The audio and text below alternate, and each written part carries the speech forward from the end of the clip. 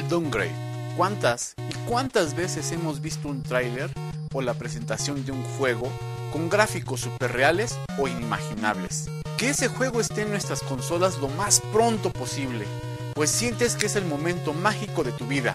Las compañías de videojuegos se empeñan en hacer el mejor juego de video, que los gráficos y el contenido sean lo más novedoso del momento, creando e ideando cosas estratosféricas y creyendo que su producto es el mejor realizado del momento.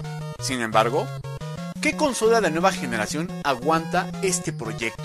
En realidad, es que todos los consoleros entusiasmados y ansiosos por el hype que les despertó ese momento de éxtasis gamer se vuelve pan con lo mismo al cabo de unos meses. Pues la máxima expresión de videojuegos que viste se vuelve la peor porquería realizada en consolas.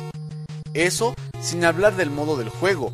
Simplemente nos abocamos al downgrade, así calificado a un juego que tiene unos gráficos impresionantes, pero que al cabo de un tiempo te dicen que ese potencial no lo soporta tu consola, y por lo mismo se reducirán las texturas y los píxeles, quedando un juego tan simple como cualquier otro.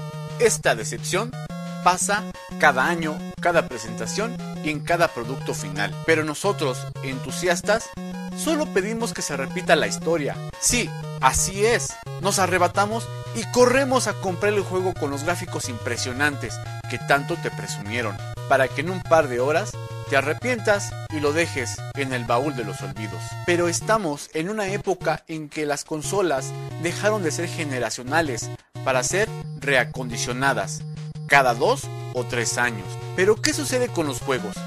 ¿Llevan el mismo ritmo de las consolas? Sinceramente, y sabes que no es así.